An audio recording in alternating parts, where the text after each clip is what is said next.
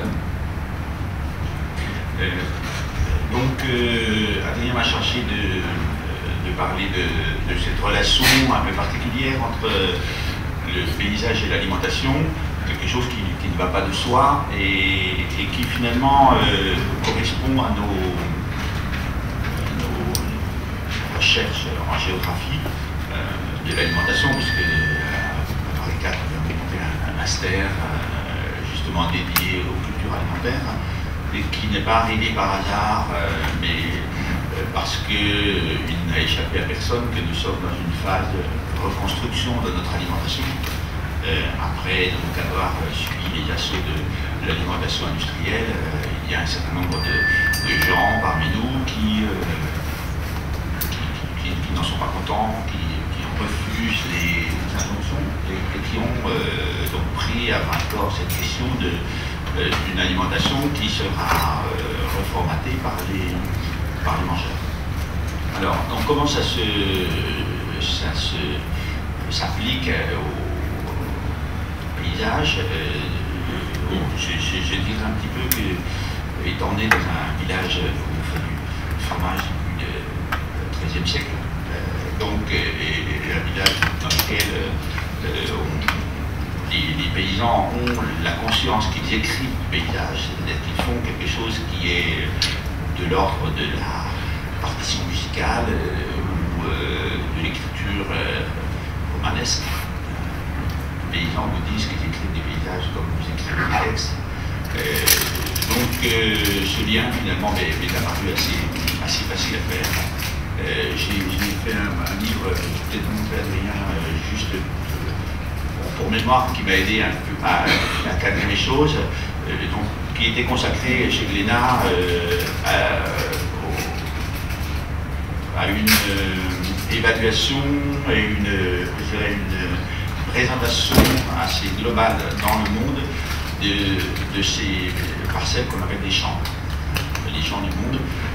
Et, dans ces champs du monde, donc, nous avons choisi de 150 photos pour essayer de- d'exprimer euh, ce que justement ces paysans ont, écrit euh, en prenant le, parti de dire que l'agriculture ne disparaît pas et qu'au contraire, il n'y a jamais eu autant d'agriculteurs dans le monde qu'aujourd'hui.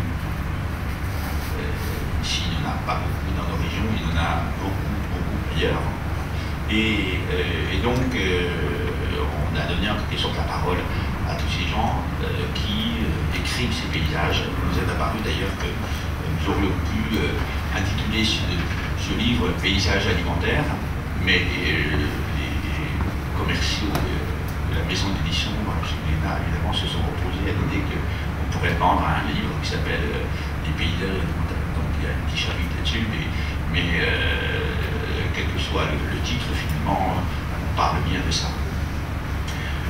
Alors là, la question pour, euh, pour moi ce matin, c'était de, euh, de me dire à qui je parlais. Et sachant que j'ai mon petit euh, groupe des géographes, donc qui connaissent un peu la euh, qui, qui découvrent ce qu'on fait, mais, mais après, je ne sais pas. Les- la Fédération française des paysages et les je ne sais pas du tout ce que vous savez des géographes travaillant sur le paysage. Donc je vais des choses euh, qui sont peut-être euh, qui sont peut-être, euh, mais que je suis obligé de, présenter pour en quelque sorte montrer la, démarche dans laquelle nous, en géographie, nous nous sommes placés quant à cette question du paysage, puisque vous savez que, j'en parlerai pas ce matin, mais puisque vous savez qu'une des manières de reconstruire l'alimentation, c'est d'instrumentaliser ce lien la terre et le mangeur euh, par un concept, un terme qu'on appelle le terroir, et qui est donc, comme vous le savez, spécifiquement français, intraduisible, euh, euh, comme on n'a pas traduit le mot restaurant, comme on n'a pas traduit le mot hôtel, qui sont des mots justement qui s'imposent dans une langue et qui ensuite passent, qui ensuite passent dans la langue universelle. Ce que je voudrais dire, c'est- que le paysage n'a pas toujours existé, euh, alors que euh, on lui donnait l'âge de la vie sur Terre, 3,8 milliards d'années. eh bien, en, réalité, depuis que la Terre existe, il n'y a pas toujours de paysage, et il n'y a même pas toujours du paysage depuis qu'Homo sapiens existe, c'est-à-dire 200 000 ans. Euh, parce que euh, la notion de paysage, c'est euh, quelque chose. La notion de paysage, c'est évidemment quelque chose qui, qui impose un regard. C'est-à-dire qu'on est, bien sûr, là je parle de la Renaissance, hein, où l'on montre donc dans une fenêtre euh, sur un sujet assez religieux, euh, qui est donc euh, à votre gauche ce chancelier qui est un, ministre des Finances du duc de Bourgogne, qui, s'est énormément enrichi pendant sa vie et qui, avant de mourir, donc, se pose des questions sur ce qui va lui arriver après la mort. vous savez donc que le meilleur moyen de se débarrasser de cette culpabilité, c'est de faire don de, son, de sa richesse. Et en l'occurrence, donc, le chancelier Rollin, euh, avant de faire construire les hospices de Beaune, qui vont servir à, accueillir les malades et, les mourants. Donc, c'est fait peindre par un peintre belge, euh, flamand, et qui donc, va le mettre en scène en face de la Vierge, mais qui va surtout, euh, au fond du tableau, ouvrir la fenêtre sur l'extérieur. Et donc là, on a probablement euh, l'une des premières peintures en Occident, l'une des, premières marques de la sensibilité à quelque chose qui, euh, n'est plus seulement une scène, euh, religieuse ou même pas religieuse du tout. on peut imaginer que si on a un homme, une femme, un enfant, mais quelque chose qui, va ouvrir sur l'extérieur et qui va donc se poursuivre pendant plusieurs siècles comme le montre la gravure que vous avez à droite, euh, que j'ai prise au Louvre également, hein, ces deux, œuvres d'art viennent du Louvre, euh, que j'ai pris au Louvre pour vous montrer donc dans ce petit paysage rocailleux, Philippe Descolade, l'anthropologue du Collège de France, l'a remarqué parce qu'il y a en bas à gauche, en bas à gauche, très très petit, dans ce, grand euh, paysage de caillasse, euh, il y a un, dessinateur, il y a quelqu'un qui a compris et qui dessine ce qu'il voit. Et donc, euh, pour lui, pour Descola, le, le, fait que dans un paysage, on mette un être humain en train de dessiner ce qu'il voit euh, et, donc, euh, en soi, la relation entre ce dessinateur et le paysage lui-même et le sujet du tableau, euh, pour lui, donc, c'est une véritable particularité de, l'Europe, d'avoir donc créé cette relation entre l'être humain et entre l'être humain et ce qu'il donc euh, euh, on pourrait dire qu'à partir de là, euh, bien le paysage venait, le type de paysage. non, ce qui est frappant justement, c'est que tous les humains ne considèrent pas leur environnement comme un paysage. il y a, selon le géographe Augustin Berck, il n'y a que deux régions dans le monde où l'on voit l'extérieur, l'environnement paysage, c'est la Chine et l'Europe, l'Europe occidentale et la Chine. Et, donc, euh, euh, le voient, ils le disent, et euh, on va voir donc comment ils le disent dans les paysages, comment ils construisent ce lien, et ensuite comment le, fait de manger ce, ce, qui est produit participe en quelque sorte de cette relation. Alors, euh, dire le paysage, je, m'excuse, je, déteste écrire des choses euh, euh, sur les diapositives, mais c'est la seule fois que je, me me permettrez de dire le paysage, c'est pour Berck donc signaler un certain nombre de choses. Voilà, on a, repéré sept, sept, moyens en quelque sorte de, de montrer comment on peut donc écrire, le, formuler le paysage. Hein. Vous avez la littérature, ça c'est facile, vous écrivez coucher de soleil, vous prenez une photo sur un, bateau que vous envoyez par SMS, hein, c'est une forme de littérature, le roman, etc. Mais célébrant la beauté. La littérature pour la beauté, la toponymie, hein, c'est très, très, vrai qu'il y a beaucoup de toponymes qui parlent de, le mot Bellevue, Mirabeau, hein, sont des, expressions qui justement montrent que euh, à un moment, il y a des gens qui ont décidé que ce que vous allez voir euh, serait digne d'être vu. Les jardins, mais pas des jardins, euh, des jardins d'agrément, uniquement pour la beauté.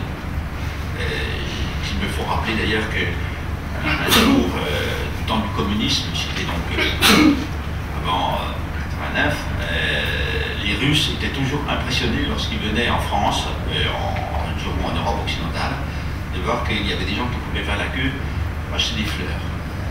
Et euh, beaucoup s'imaginaient, ceux, qui, ceux qui, ne savaient pas à quoi servaient les fleurs, beaucoup s'imaginaient que de manger des fleurs. Hein, parce que pour faire la queue, bien sûr, dans le communisme, on faisait la queue, et on faisait la queue essentiellement pour manger. Donc on, faisait faisait la queue pour, euh, pour, manger des fleurs et euh, lorsqu'ils découvraient qu'on achetait des fleurs pour, euh, pour l'agrément, ça c'est quelque chose qu'ils décidaient. Mais probablement aussi parce qu'ils étaient dans une économie très, difficile pour eux et que dépenser de l'argent uniquement pour les, le regard, c'était quelque chose, c'était un luxe qui ne pouvait rester donc les jardins d'agrément, pensez-y, surtout en ce printemps, l'architecture aménagée pour voir un paysage, la vue, hein, la, chambre avec vue, euh, la chambre sans vue, hein, le panorama. Je, dis souvent à mes, étudiants que euh, sur certains immeubles de la côte d'Azur ou euh, de la côte du lac Léman, les vieux immeubles, disons, du XVIIIe siècle, les fenêtres ne donnent pas sur le lac, fenêtres donnent sur l'intérieur. Parce que parce qu'au XVIIIe siècle, on ne voit pas le lac. On ne voit pas le Mont Blanc. il y a des cartes, même des BH, 1700 euh, quelques, euh, cartes de France sur lesquelles il n'est pas indiqué le mot Alpes et Mont Blanc. Parce que, parce que Rousseau n'est pas passé par là, parce que euh, tous ces gens qui ont regardé les Alpes et qui nous ont alertés sur le fait qu'il y avait des Alpes de la France donc l'architecture, les panoramas, euh, les peintres représentant des aspects sensibles, dans un instant, les mots, je pense que là tout le monde sait qu'il y a beaucoup de paysages, et puis donc la réflexion, euh, en particulier certaines faisons euh, Alors dans l'histoire de l'humanité, le paysage est apparu, donc comme je le dis, en deux lieux, hein, la Chine et le monde, la Chine et l'Europe, et je vais donc rapidement parler de la Chine au IVe siècle, ce mot donc, que vous connaissez tous, Sanshui, qui signifie donc, euh, traduction euh, littérale, euh, mont et eau, un paysage, montagne et d'eau. Voilà ce que c'est que le, paysage en Chine. C'est un paysage de montagne et d'eau. on ne dira jamais un paysage urbain. On ne dira jamais qu'un jardin est un paysage. paysage, c'est effectivement ce que vous voyez, qui a été instrumentalisé dans la cérémonie d'ouverture des Olympiques de Pékin, avez vu ça. Et, puis, euh, dans tous les, grands posters que l'on voit dans les aéroports, euh, ici nous avons mis, voyez, un poster de Paris avec euh, le bel urbanisme haussmanien. en Chine, on met, des paysages comme ça.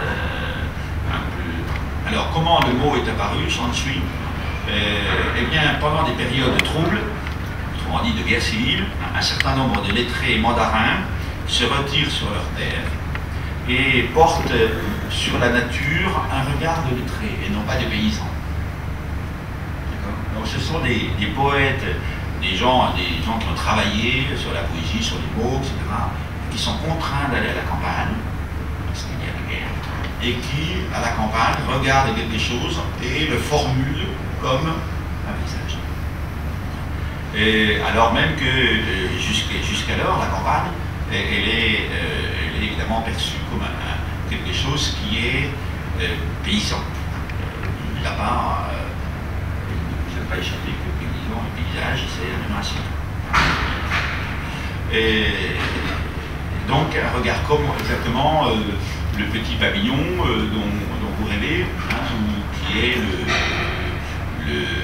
l'archétype même du, rêve urbain de beaucoup de gens, est issu d'une vision euh, virginienne de, l'habitat, c'est-à-dire la petite maison euh, au milieu de la campagne, c'est Trianon, hein, Trianon chez soi, et c'est quelque chose qui est complètement retravaillé, évidemment, à une pays. Donc c'est un regard, c'est une relation c'est une relation euh, bienveillante devant les montagnes dont l'eau est, la métaphore. Et la métaphore de, cette liaison. L'eau qui coule, c'est la métaphore. Avec des connotations de pureté. Si vous avez un paysage euh, chinois sur une boîte de thé, hein, euh, c'est évidemment pour faire le lien avec le fait que vous allez consommer quelque chose qui vient probablement de là, mais qui a également euh, une vertu purificatrice. L'idée pureté, le paysage lave des poussières du monde.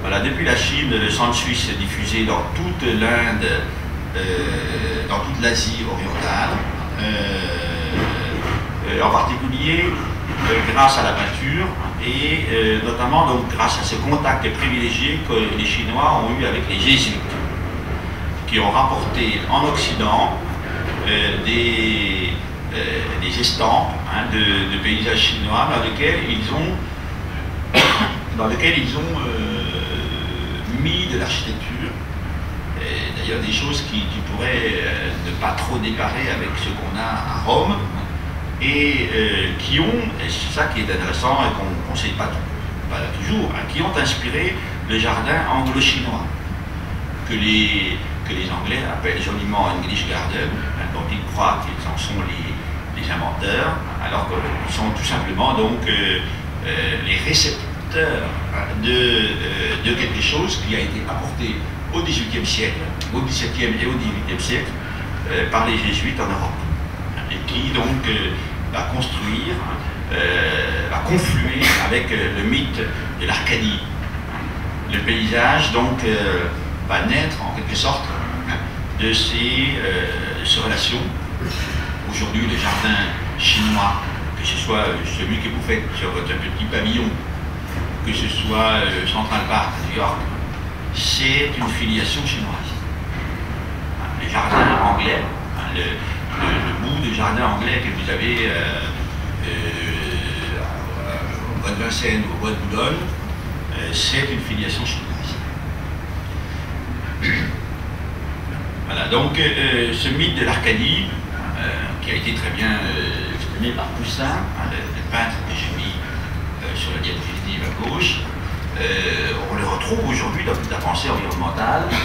je vous ai mis ici, vous voyez, cette publicité pour des immeubles qui, pourraient être des immeubles de l'habitat collectif on ne peut plus euh, standard, hein, mais qui placé euh, sur un, parc avec des moutons à l'intérieur, et, bien donc euh, a exprimé en quelque sorte ce, ce, lien particulier entre le paysage et entre le paysage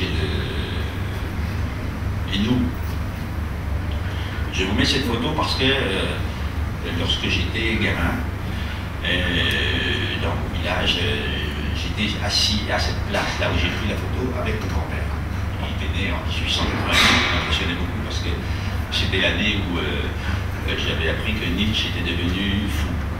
On avait enlevé Nietzsche cette année-là. Et alors donc, le grand-père me dit, tu vois, moi à l'époque je m'intéressais beaucoup à la musique, parce que j'écrivais de la musique, et il me dit, tu vois, tu écris de la musique, et bien moi j'écris des paysages. Et donc, il m'explique par exemple qu'il a participé au début du XXe siècle, gamin, à la construction de cette route que l'on voit là, qui va d'un village à l'autre, sur un plateau plat. Il n'y a pas de, il particulière, on est à 800 mètres dans le sur un, plateau qui est un peu comme le Larzac, comme la Grande, la Castille, mais euh, sur laquelle d'ailleurs la, au bas de, la passe une, nationale qui a été tracée par les ordres du roi, euh, sur les ordres du roi par les, gens des ponts et chaussées, mais euh, qui croise un chemin, donc une route maintenant également nationale, qui joint le village suivant, mais qui a été volontairement gardée euh, tortueuse. Et mieux que ça, euh, les arbres qui sont plantés au virage, je, je lui avais dit, mais vous êtes vraiment méchant d'avoir planté des arbres dans un virage, parce que tout le monde sait, à l'époque, évidemment, on voulait très vite avec la voiture, tout le monde sait que quand on rate un virage, eh bien, on va dans l'arbre.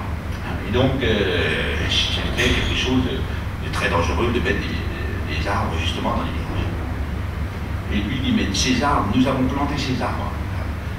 Et avec les gens qui nous avons planté ces arbres justement euh, comme des épingles, pour montrer que c'est la nature qui a tiré le trait de la route.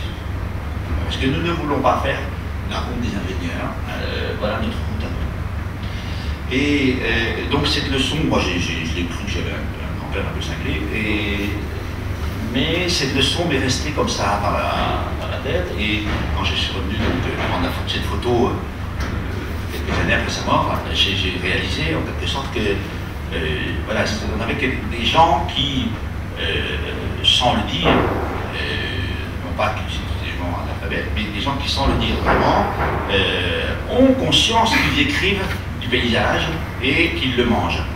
Dans le même village, côté, côté montagne, vous avez un, bocage. Euh, vous voyez que les haies, ici, euh, ont été plantées et ont été conservées euh, parce qu'elles ont une fonction esthétique. Ce que nous, ce que nous ne, voyons pas spontanément et que nous. C'est une attribution que nous ne donnerions pas forcément à des paysans.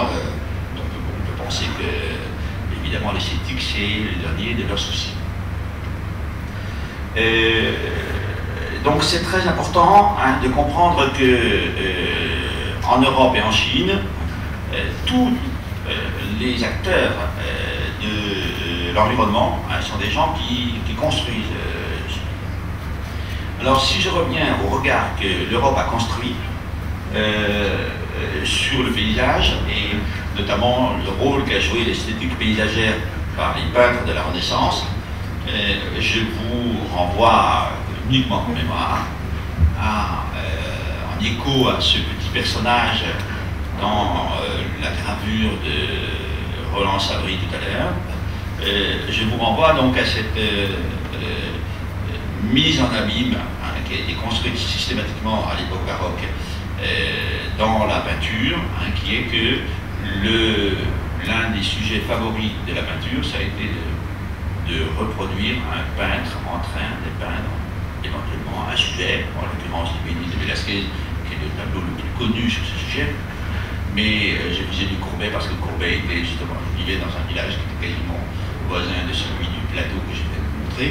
Euh, dans son atelier, Courbet donc peint, alors qu'il même qu'il a une femme qui est nue derrière lui, hein, il devrait peindre la femme nue, eh bien, euh, il peint un paysage, et il peint un paysage dans un atelier où euh, les gens du village viennent regarder. Et, donc, c'est très important hein, de, comprendre que le regard que nous portons aujourd'hui sur l'extérieur, sur l'environnement, il a été construit par les. J'aurais voulu vous montrer Cézanne peignant la Sainte-Victoire, c'est la même chose.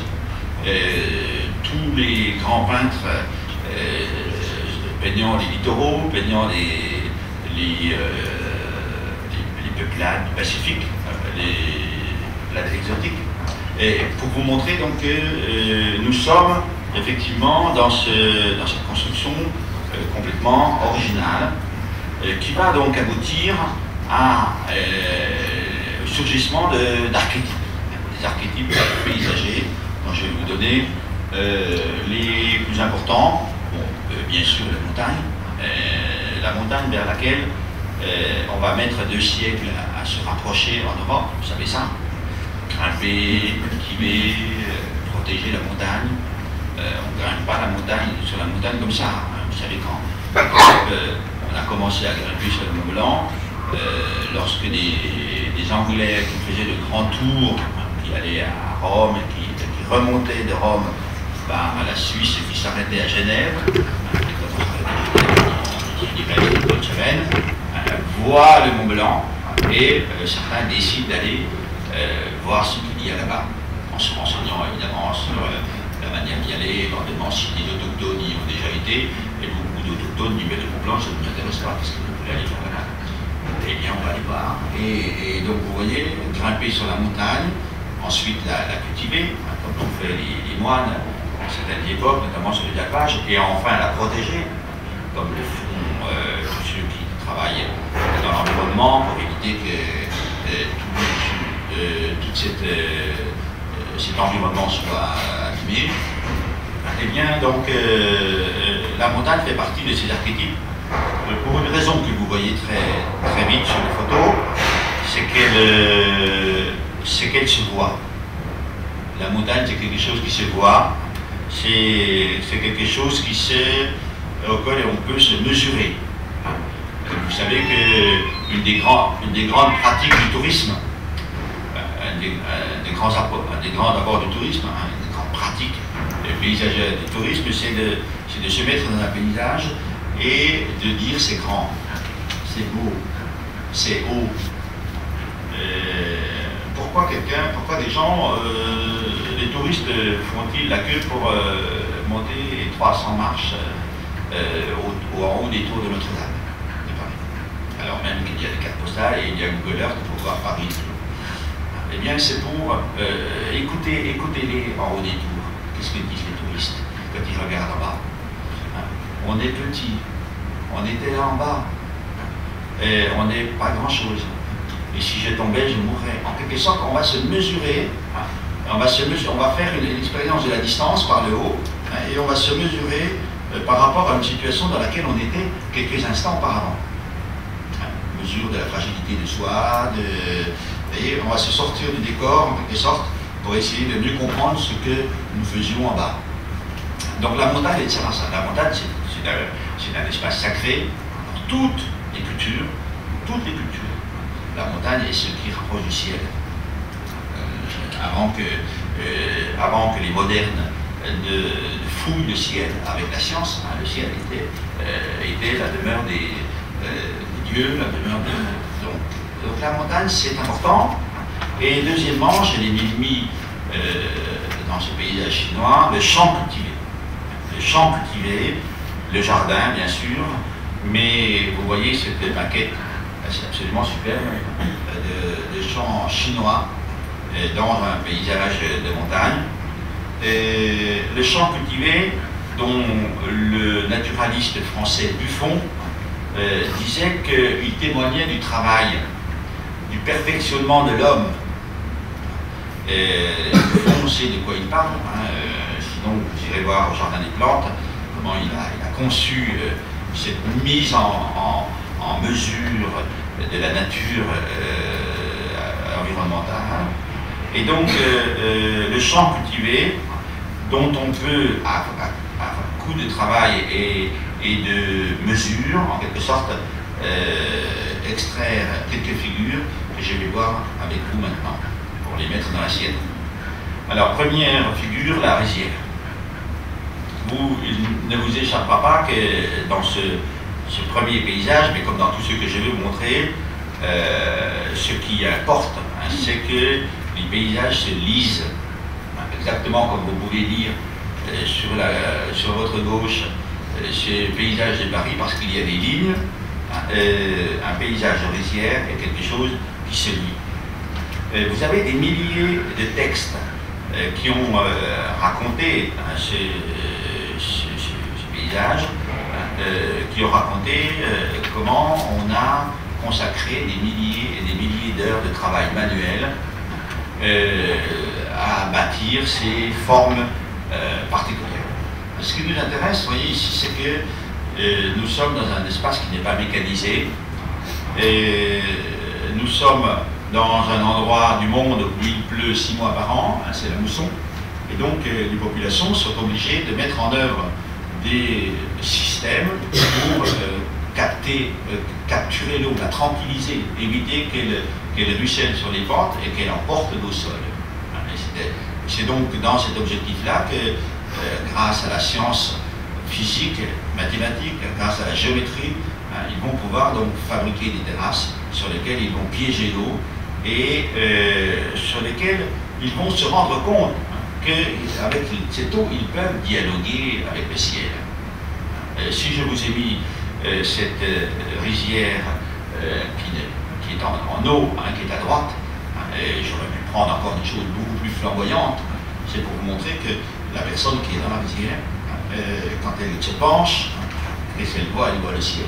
Hein, il y, a, un dialogue, en quelque sorte, entre, entre l'un et l'autre, qui rend ce, lieu, au moins quelques, mois dans l'année, qui le rend cosmique.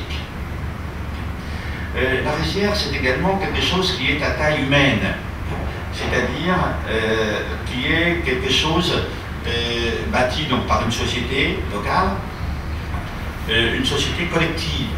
Je serais tenté de dire que la rivière est beaucoup plus collectiviste que le maoïsme. Et, et je serais tenté hein, de dire que la rizière est beaucoup plus totalitaire que la dictature. Euh, parce que, bien sûr, il faut aussi plonger, mais il faut travailler ensemble, euh, il faut se mettre les pieds dans l'eau, comme la plante, et euh, il faut travailler ensemble, il faut travailler en groupe. Et vous voyez cette rizière donc, qui, forme la société chinoise, hein, qui modèle le comportement des, des individus dans une démarche collective, il se traduit par euh, un goût d'être à table, euh, qui est donc euh, particulièrement important ici. Les, peuples paysans hein, sont des peuples qui s'aiment à table, et en particulier une table qui est organisée hein, comme un microcosme. La rizière est le microcosme extérieur, la table est le microcosme intérieur. Et vous voyez donc sur cette table circulaire, où il n'y a pas de hiérarchie, exactement comme dans la ligne de la rizière, chacun est à sa place parce qu'il n'y a personne qui préside. Et, eh bien, donc, on va euh, faire passer, on va faire tourner, en quelque sorte, euh, les produits alimentaires sur ces fameux plateaux euh, qui vont donc marquer, en quelque sorte, l'abondance de la récolte à la même, au même titre que l'abondance de la récolte de la rizière, fournie par la rizière. Je vous ai mis ici même, euh, si vous, voulez travailler là-dessus, c'est de la poésie, euh, euh, ce, bol de riz, dont il me paraît, par sa symbolique sphérique, une, également une forme de métaphore du monde. Quand je demande à des Chinois pourquoi vous faites un bol de riz avec une boule, ils ne savent pas. c'est la forme de la cuillère, c'est la forme de la main, on ne sait pas. Si un jour quelqu'un parmi vous, euh, le chinois, euh, pourrait chercher comment on a construit l'esthétique du bol de riz, euh, je pense que vous apporteriez des choses assez, euh, assez utiles à la compréhension de, ce que c'est que le manger chinois. Étant entendu que sur le plateau, pour ceux qui ne savent pas ce que c'est que la cuisine chinoise, la cuisine chinoise c'est d'abord une médecine. Et y a donc des, euh, plats qui correspondent euh, à des fonctions particulières. Chaque, chaque chose que vous allez prendre dans le plat va vous guérir ou vous nourrir euh, tel ou tel, tel, ou tel élément du deuxième figure, le champ de thé. Faut-il rappeler qu'à l'origine, le thé est un arbre et, que le, thé se trouvait dans les forêts, et que la forêt, euh, le thé était naturellement euh, quelque chose qui pouvait monter jusqu'à 20 mètres et qui a été progressivement taillé en forme de ce qu'on appelle table de cueillette, hein, c'est-à-dire le, théier a été taillé à la hauteur humaine hein, pour être ramassé, comme vous le voyez, sur la droite. Pendant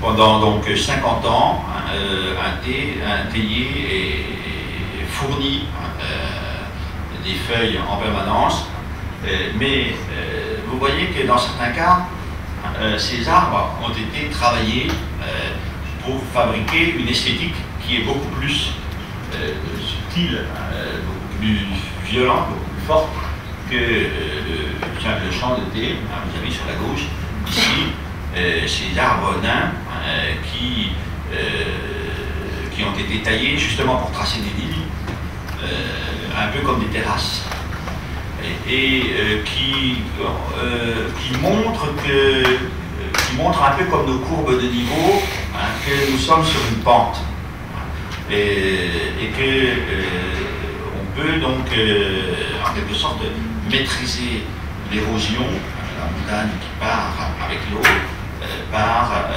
la, la culture de ces arbres très résistants sur des déclivités et qui sont particulièrement appréciés dans ces milieux humides où euh, l'érosion est très forte. Euh, la récolte est manuelle. Hein. Il ne vous échappe pas qu'il se passe euh, quelque chose de collectif dans le champ de thé comme dans la rizière. Hein. On plonge dans l'élément, on est dans le théier jusqu'au cou et on y reste. on y exprime sa poésie, son art, si on veut, mais on l'exprime surtout par euh, quelque chose qu'on va voir euh, euh, qui est qui est donc le, la cérémonie du thé, qui est donc cette idée que le, thé, forêt, théier forêt domestiquée, théier forêt domestiquée est quelque chose qui a un caractère sacré.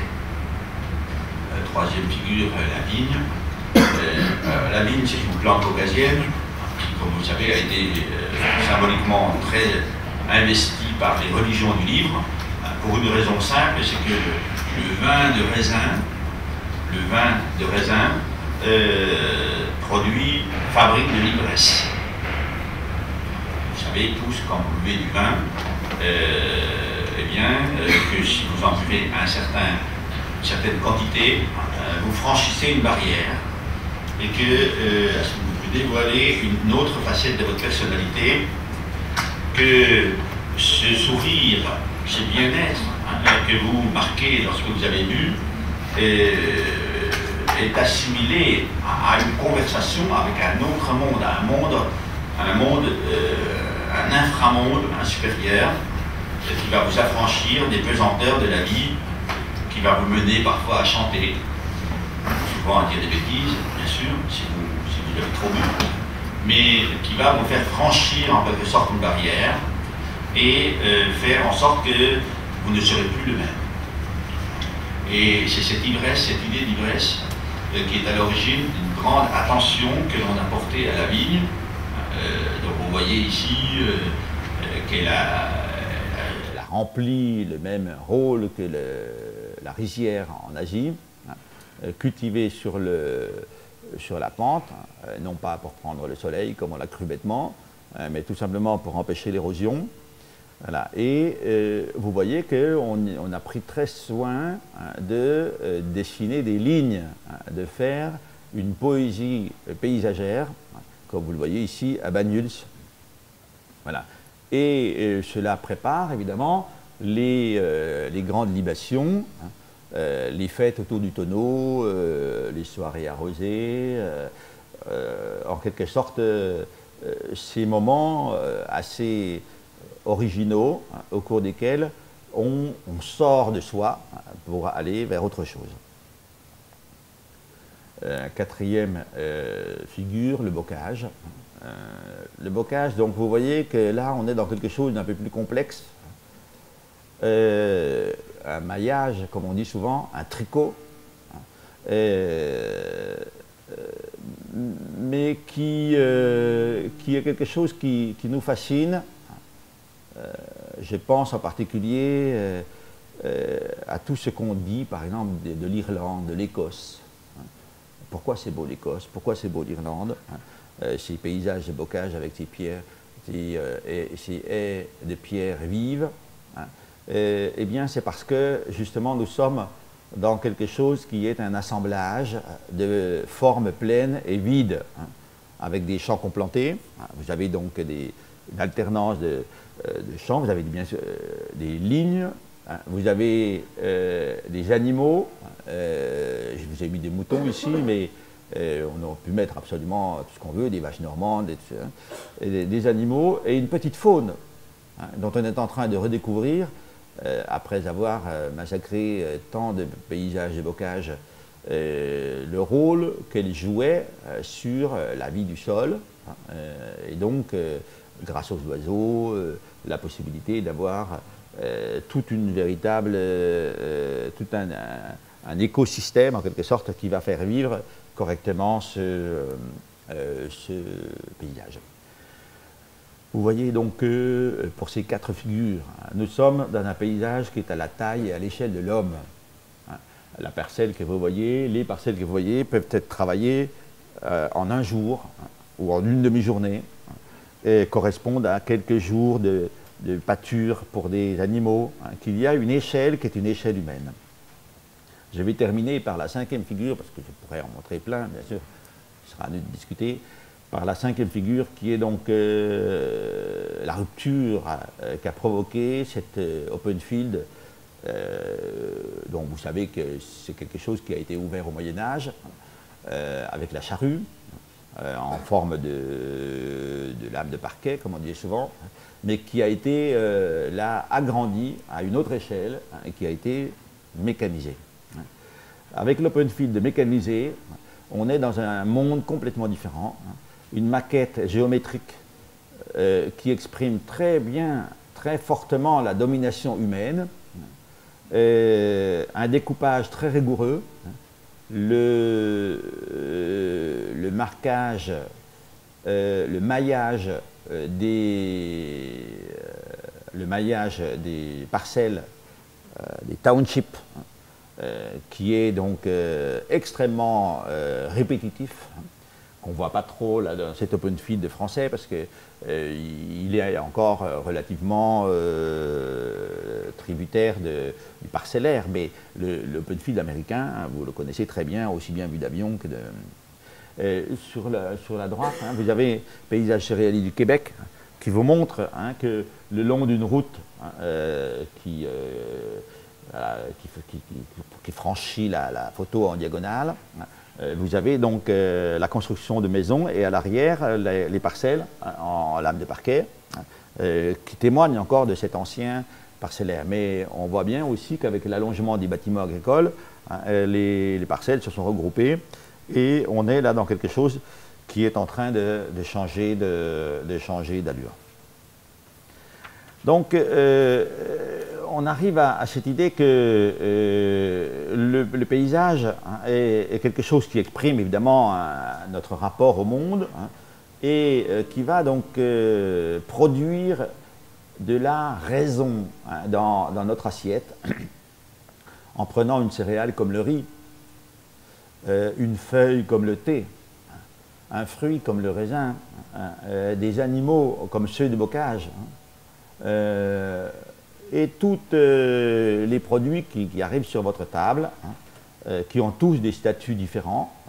Euh, l'ananas qui vient du Bénin, hein, la banane qui vient du Costa Rica, hein, qui est pleine de, ce système quasi esclavagiste des grandes firmes américaines pour nous vendre quelque chose qui a cet avantage merveilleux, c'est qu'il se transporte, ce cueilleur se transporte mûri dans bateau avant d'arriver chez vous, hein, que tout cela, en quelque sorte, donne une raison que nous allons euh, passer en revue rapidement.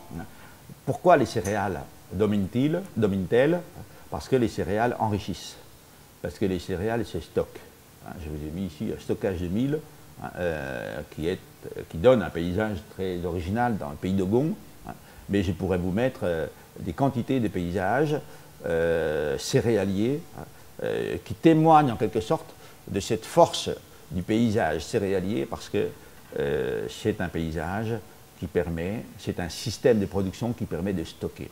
Hein, et quand on stocke, on est tranquille. Quand on stocke, on peut spéculer. Quand on stocke, on peut vendre. Hein, et quand on stocke, on, on peut être un capitaliste. Hein. Le capitalisme est né des sociétés céréalières, à Florence et ensuite dans le nord de l'Europe avant de se propager, euh, de se propager en Amérique. Euh, deuxièmement, le thé, le thé protège des maladies. Le thé euh, guérit. Le thé nourrit, le thé guérit. le thé ouvre à des sensations supérieures. Le raisin fermente. Le raisin fermente. Imaginons que jusqu'à Pasteur, nous ne savions pas pourquoi, jusqu'en 1885, nous ne savions pas pourquoi euh, lorsque vous mettiez des fruits dans de l'eau, hein, la fermentation apportait de la chaleur. Normalement, l'eau élimine la chaleur. Quand vous voulez éteindre un incendie, vous mettez de l'eau dessus. Or là, le, feu était dans l'eau. On a vu ça pour l'alcool, ce qui a été apporté par les Arabes, hein, et qui, qui marie le feu et l'eau. Hein, nous avons eu ça jusqu'à Pasteur pour le vin. Et à ce titre, cette chaleur a été un mystère et euh, s'est cultivé de cette manière. C'est d'ailleurs une des raisons pour lesquelles vous aimez le vin, euh, non pas parce que, euh, évidemment, il est passé par la fermentation, mais parce que la fermentation lui donne quelque chose qui vous fait du bien, qui vous fait plaisir. Enfin, les animaux sont des, sont des êtres vivants qui sont sacrifiés. C'est très, très grave. Hein de euh, soustraire la vie euh, pour un être vivant, hein, et en particulier de soustraire la vie à un animal, qu'on aime ou qu'on n'aime pas. Euh, et donc la raison du, paysage de bocage, la raison du paysage d'élevage, c'est précisément d'avoir cet animal hein, qu'on va sacrifier pour, pour le manger. On sacrifie d'abord un dieu hein, et ensuite sacrifier pour le manger soi. Donc, autrement dit, chaque société construit son rapport au monde sur son usage, hein, sur un avantage tiré, hein, mais surtout sur une sublimation esthétique et symbolique hein, qui est souvent travaillée par une religion. Au fond, derrière le paysage, il y a souvent la symbolique de la fécondité. Euh, par, exemple, les Péruviens ont ça. Euh, la pomme de terre s'appelle la papa. Hein, la papa, c'est quasiment les premiers mots que peut, dire un être humain. Hein, la papa, c'est il n'y a pas de d'être vivant en Inde, dans, le pays andin, si on ne mange pas de papa. Hein. la fécondité, la joie, le, vin, le vin le, et tous les alcools, le vin, la bière, le saké, tout ce que vous voulez, euh, nous donnent de la joie et à ce titre-là, nous réjouit le vin qui réjouit le cœur de l'homme, dit la Bible. à ce titre-là, donc, euh, il, entre par la religion hein, euh, dans euh, ce, rapport original. La santé et la médecine. Un, produit qui vous fait du bien. Hein, la santé et la médecine sont des, thématiques qui, sont, religieuses. Et puis, bien sûr, le plus difficile, c'est la mort de l'animal, hein, dont le sang est jeté sur les, euh, ceux qui mangent l'animal, la, libation et ce sang que nous avons remplacé depuis le christianisme par le vin. Hein, le sang du Christ, hein, qui en quelque sorte est le vin hein, que l'on boit, qui va remplacer en quelque sorte cette libation qui a lieu, euh, je dis ça parce qu'il y a quelques jeunes gens ici qui ont dû participer autrefois à des matchs de foot, ou qui participent à des matchs de foot ou de rugby, à la fin desquels on ouvre, on sabre une bouteille de champagne, hein, de manière à faire en sorte que le gaz carbonique éclate hein, euh, euh, à la figure de tous ceux qui euh, ont joué et de ce fait participent à cette libation. Donc l'aliment est le médium, hein, et Berck disait la médiance entre l'environnement et nous. Alors, très rapidement, comment ça se noue hein. Bon, ça se noue par quelque chose que les anthropologues appellent la pensée magique, hein. euh, c'est-à-dire donc ce système qui transmet des valeurs supposées et attribuées aux objets. les céréales, le thé, le vin, l'animal. pourquoi la pensée magique? Parce qu'il est nécessaire hein, d'évacuer le conflit qui se crée lorsque je veux incorporer quelque chose. En effet, quand vous voulez manger quelque chose, vous avez toujours une angoisse parce que vous allez mettre dans votre corps un corps étranger et vous ne savez pas si euh, ce corps étranger euh, ne va pas vous faire mourir. Je dis, mais non, c'est pas vrai, j'ai pas d'angoisse. Non, parce que, évidemment, tout a été fait, tout un système très complexe a été mis en place pour vous éviter d'avoir peur. Mais si je vous dis que je suis un passionné de champignons, et que j'ai été hier en forêt de Fontainebleau euh, ramasser des champignons, que j'en ai trouvé des très bons, très beaux, et que, mais que je, ne les connais pas, et que je vous, invite ce soir à les manger chez moi. Hein, on va goûter ensemble champignons. Hein, vous allez tous me dire que vous êtes pris. vous êtes tous des lâches. Pourquoi? Parce que, parce que vous avez, si si vous ne savez pas que je, si, je vous invite à les goûter avec moi et que vous ne savez pas que ces champignons peuvent être des champignons mortels, hein, eh bien, euh, vous ne serez pas rassuré, vous ne viendrez pas. Hein, autrement dit, nous avons, lorsque, lorsque, nous mettons quelque chose dans notre corps, hein, nous avons instinctivement euh, une forme de méfiance dont il faut se guérir, dont il faut se guérir par la pensée magique. Par exemple, euh, je, peux manger des champignons en face de quelqu'un qui, je ne suis pas très sûr, mais qui en mange.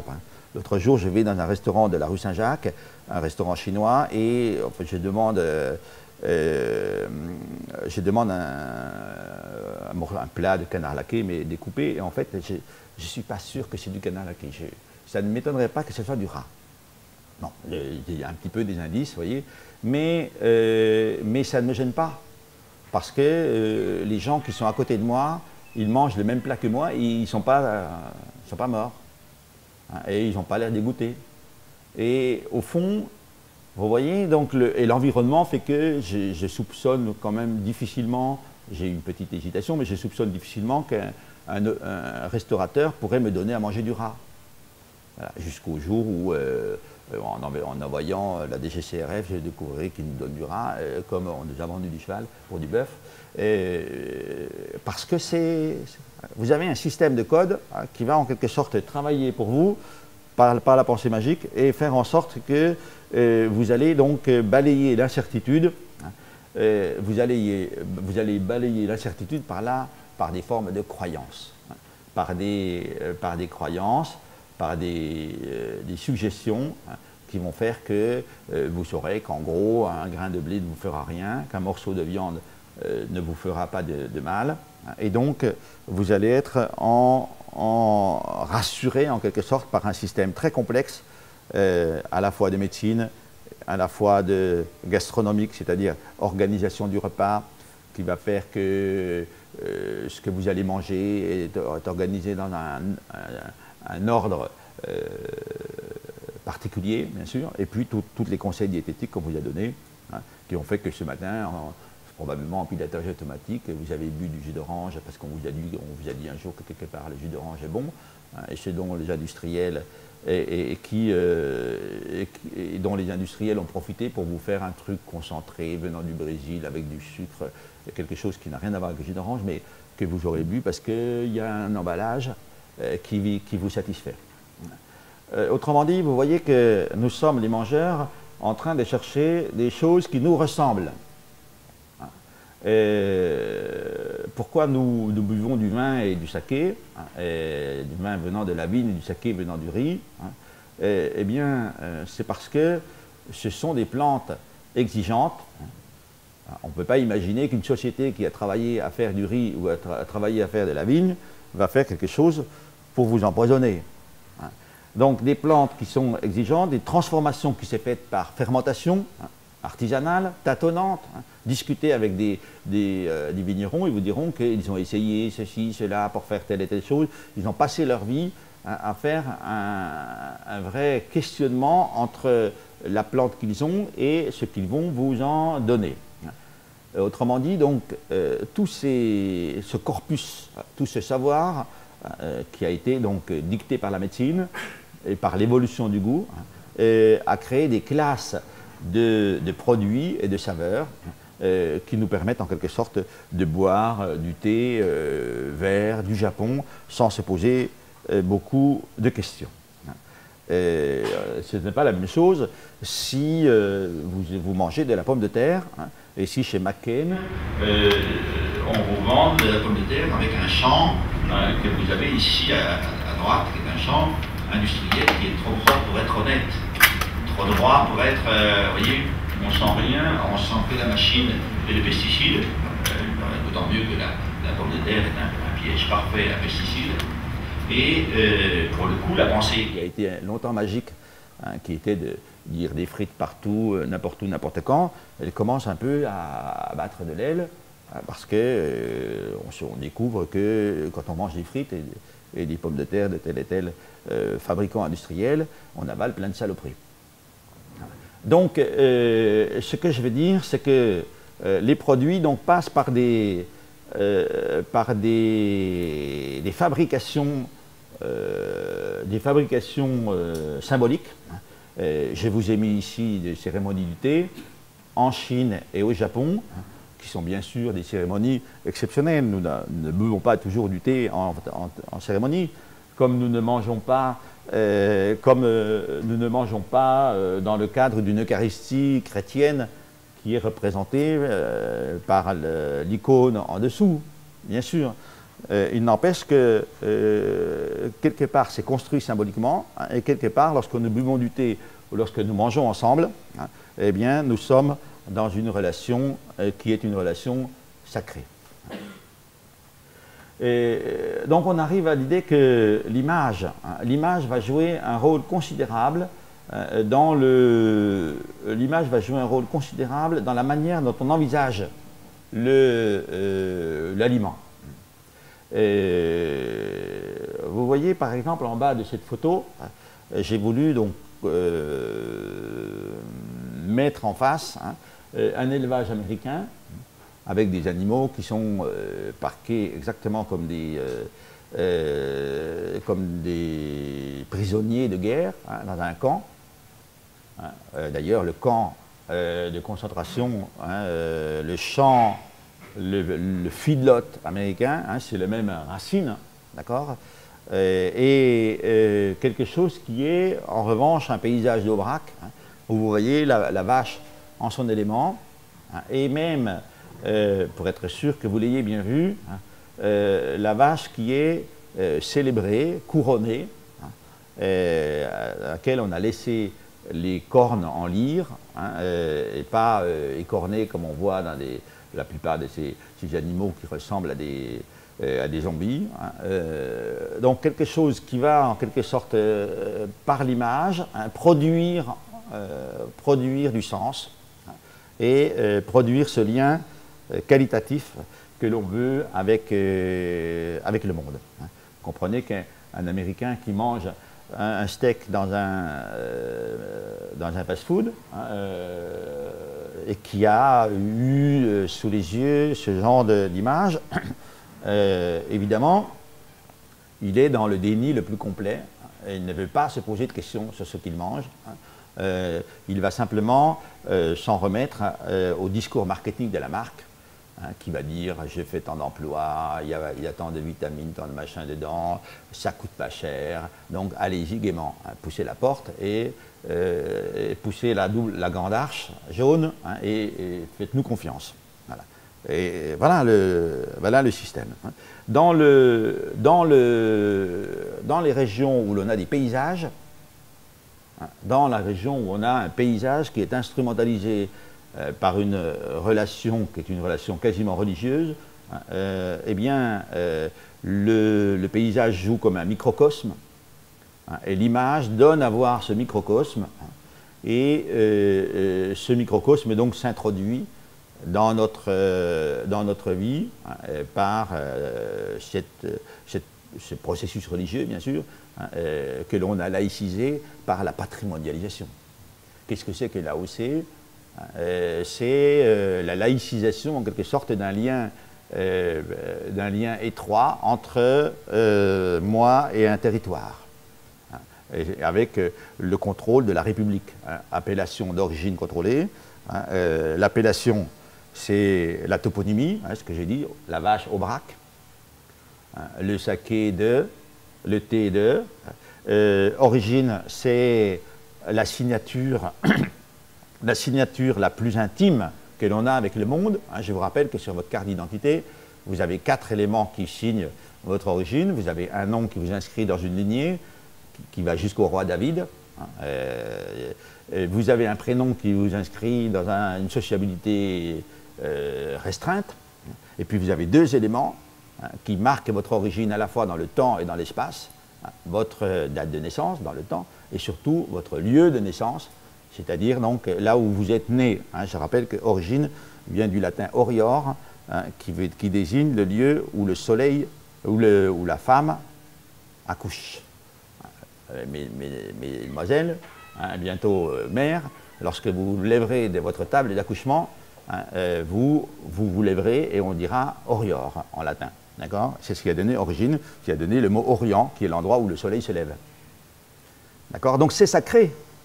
Hein, si un jour vous me dites je suis né à tel endroit et que moi je vais là-bas et que je,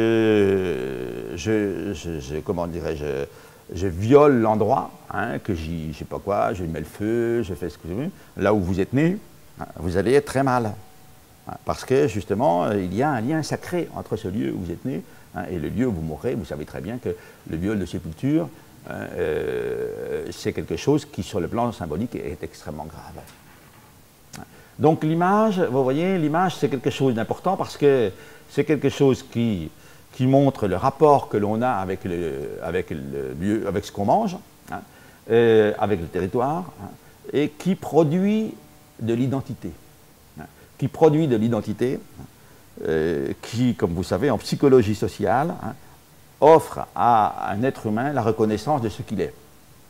Voilà. Je n'ai pas honte à dire que je suis euh, de l'Aubrac hein, et que euh, j'aime bien euh, l'été, qu'il y ait des fêtes avec des vaches et des couronnes. C'est hein, vrai qu'à Paris, un samedi matin du mois d'avril, ça paraît complètement cucu, hein, d'aller défiler derrière les vaches couronnées. mais dans, dans la construction de cette qualité alimentaire que fournit le la race au braque avec sa viande et avec son lait, c'est quelque chose d'extrêmement important. Hein, dis-moi ce que tu manges, je te dirai euh, qui tu es, hein, ben, je te dirai qui tu veux. Hein.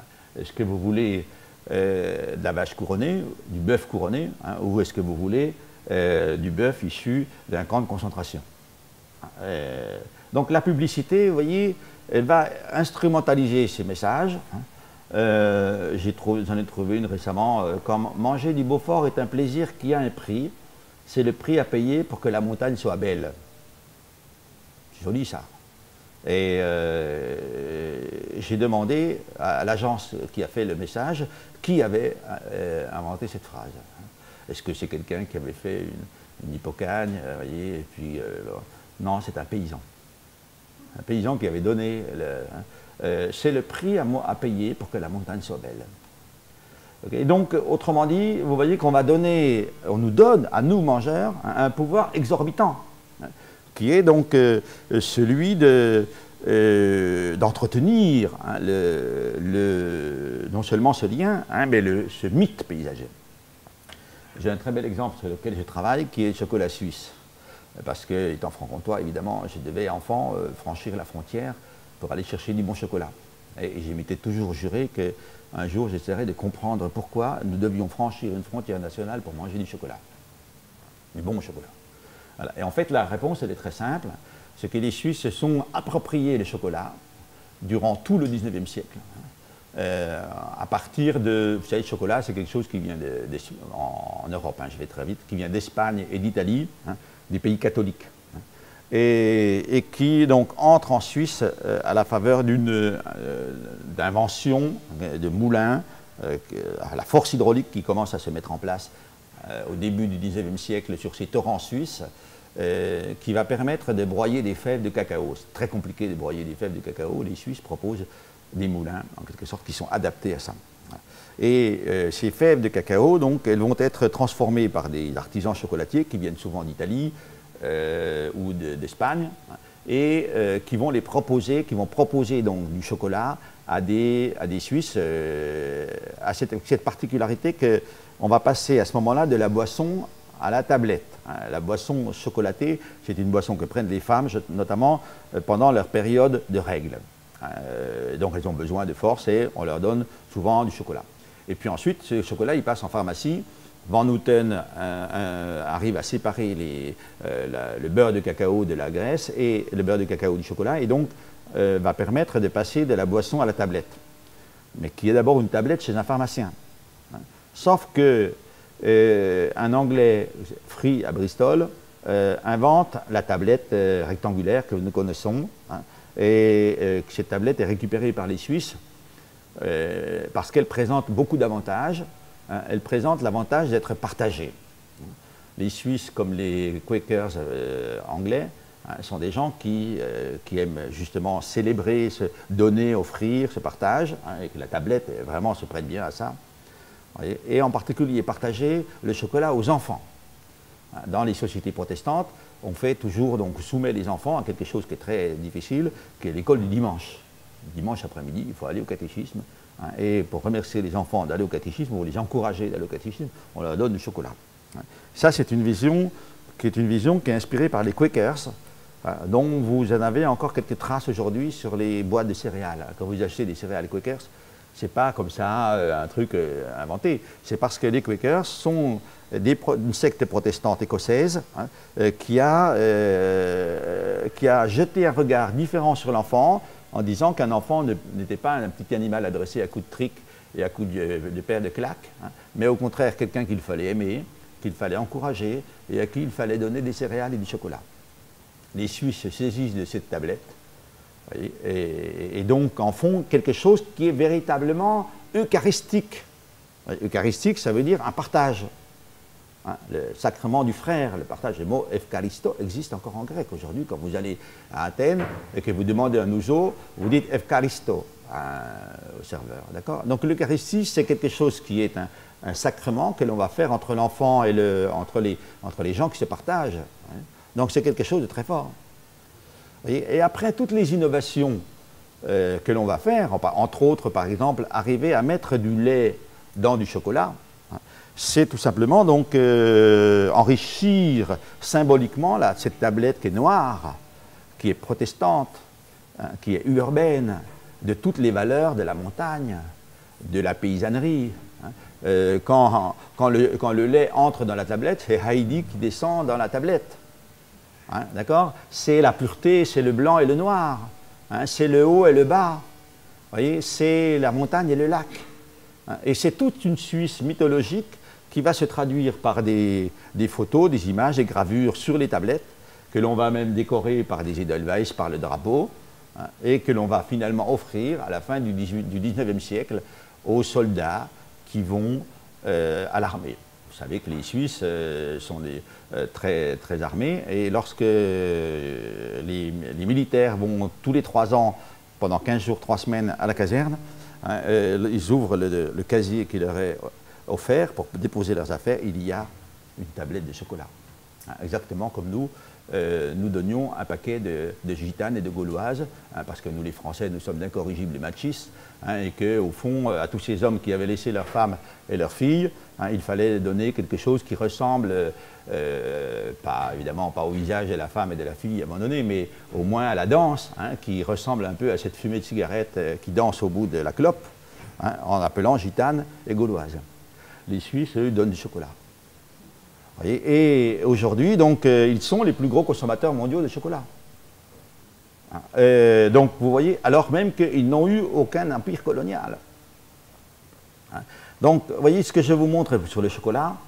Euh, c'est tout simplement pour vous dire hein, euh, qu'on euh, peut aller jusqu'à un support iconographique national.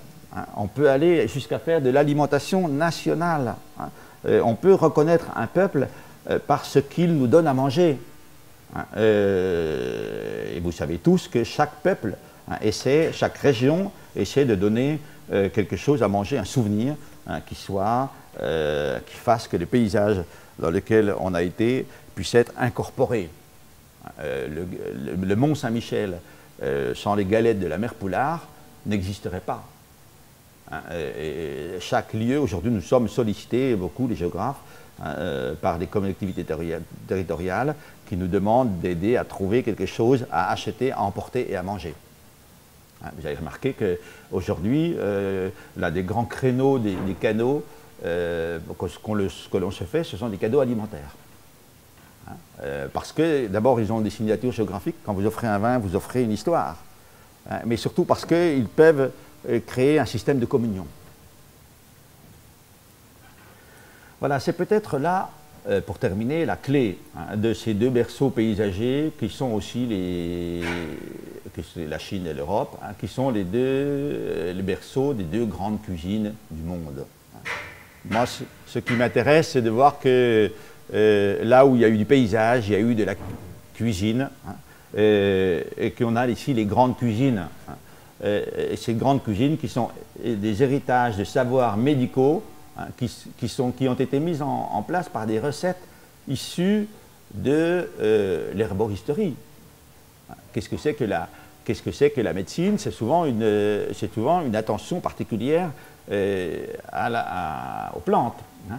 Et vous voyez que cette répétition hein, de, de, recettes qui, euh, qui se sont euh, reproduits, qui ont été codifiés, hein, qui ont donné des pratiques de cuisson qui sont devenues banales, hein, que c'est ce, corpus-là de savoir, hein, il se marie à la fois avec le paysage, avec la science et avec, le, et avec la médecine.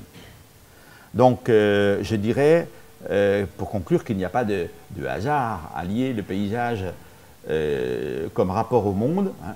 agriculture ici, jardinage là, cueillette comme le thé, élevage à un autre endroit, hein. euh, donc à, lier et à penser le territoire comme rapport au monde, hein, dont l'alimentation est euh, finalement l'aboutissement. J'en veux pour preuve cette dernière diapositive qui vous montre que dans de nombreuses régions, dans de nombreuses sociétés du monde, il y a des paysages sublimes euh, mais dont les sociétés ne se vendent pas. Quand vous dites, à un malgache, mais c'est formidable, vous habitez un paysage superbe, il vous regarde en vous demandant de quelle langue vous parlez. Le malgache ne voit pas le paysage. Hein. Euh, parce que le paysage, c'est le, lieu des morts. Voilà. il, y a, un rapport au temps, euh, au monde qui passe par les, morts, par les anciens, par les ancêtres. Donc, vous voyez, on, vous ne mangerez pas des paysages à Madagascar donc c'est clair que euh, sur notre planète, hein, même chose pour le manioc ici, hein, sur notre planète, il y a des, paysages, des, sociétés euh, qui sont des sociétés paysagères, qui sont des, grandes sociétés culinaires. Et moi, il me semble, hein, plus je vais aujourd'hui, euh, c'est une des, des, grandes raisons pour lesquelles l'Afrique et l'Inde ont faim, c'est parce que elles ne se sont jamais pensées en société paysagère. Euh, pour terminer, j'ai juste euh, dire quelque chose qui m'est arrivé avant-hier. Euh, j'ai fait un petit atlas il y a six ans qui s'appelle Atlas de la cuisine et de la gastronomie. Petit atlas ben, bon, de, 80 pages. Ce qui est très curieux, c'est que, donc cet atlas, Atlas mondial des cuisines et de gastronomie, c'est très curieux, c'est que cet atlas a été traduit uniquement dans des pays où la cuisine et la gastronomie ont été pensées en, système paysager. Très étonnant, en discutant avec des scolaires, euh, je lui dis, au Collège de France, je dis quelles, sont d'après vous les grandes, cuisines du monde? Anthropologue, euh, élève de Lévi-Strauss. Et il dit c'est très simple, la cuisine chinoise, la cuisine turque, la cuisine euh, européenne, française, italienne, enfin vous voyez, et la cuisine mexicaine. Eh bien, je vous dire, mon petit atlas, il a été traduit en espagnol par un Mexicain. Il a été traduit en turc. Et euh, avant-hier, il a été traduit en chinois. Vous voyez, c'est pas, je, ne tire aucun euh, rien, pas de. je simplement que, vous voyez, je suis tombé je raconte des choses très simples. Hein. Je suis tombé sur une société euh, qui, comprend en quelque sorte le langage que nous avons voulu faire émerger par la cuisine et la gastronomie, parce qu'en France, c'est quand même une de, nos principales obsessions. Voilà, euh, merci de votre attention et, donc je reste à vos questions.